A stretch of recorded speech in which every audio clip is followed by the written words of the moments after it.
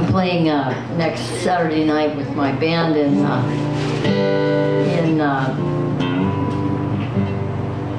in Seattle at Crossroads, uh, and we're gonna we're gonna do something different. We're gonna do an all acoustic night. It's gonna be pretty interesting, I think, because my my bass player's taking up the uh, stand-up bass. He's gonna play that, and I'm gonna play my acoustic guitar, and the keyboard player's gonna not play very loud. And